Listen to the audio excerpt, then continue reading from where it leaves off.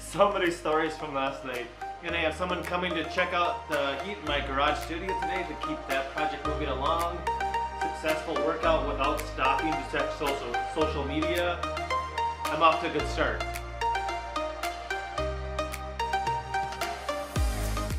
Getting all kinds of things accomplished. Spoke on a company call today and I shared some knowledge, like nuggets, whatever you want to call it. I solved some problems and I just had the maintenance friend over to check out the heating situation in the studio.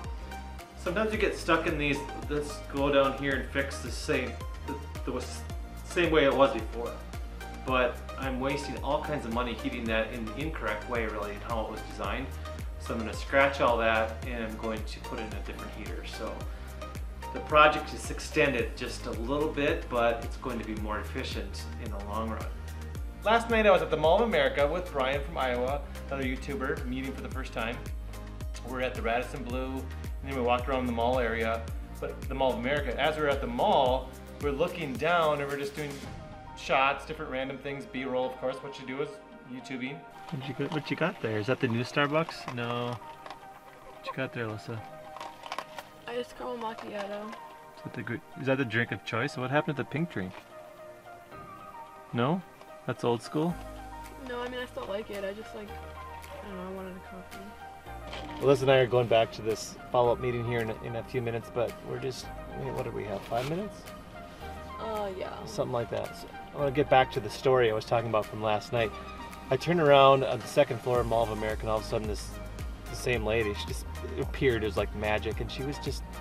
I was a little surprised. She was yelling at us, and I got in a little, let's call it a discussion. I'm a pretty calm guy, and she, it just didn't make any sense to me.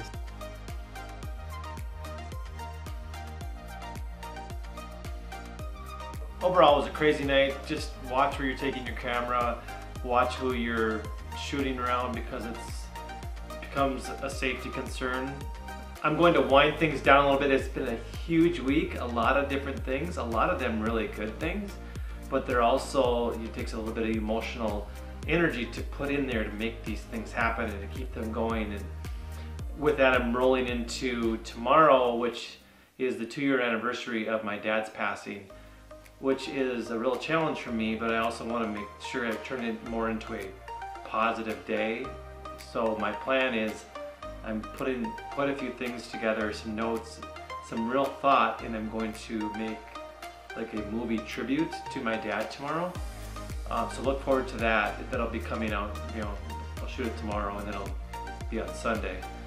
And I just want to like really put some good thought into it, what he really meant to me, and probably a little more on the serious note, but I want to make sure it kind of has a energetic and a positive flow to it as well with that, the final message I had for today, just a lot of me talking mostly today and a lot of the extra crazy, look at this tree, woo, cool B-roll. But I was just, this is a lesson that in life in general is, as you're out and about throughout your day, pay attention to the aura, the energy that you're projecting and if you're smiling, if you're, what your actions are with other people. I was in line getting some food and I was starting to interact with the guy next to me in one of those lines that go across, and he was saying, um, he was kind of funny, but then when I was picking up my food, he, he started to say something to me, and I was interacting, and it was him and his wife that were married for 24 years, and I shared a couple things, and within about a minute, two minute conversation, it's like a,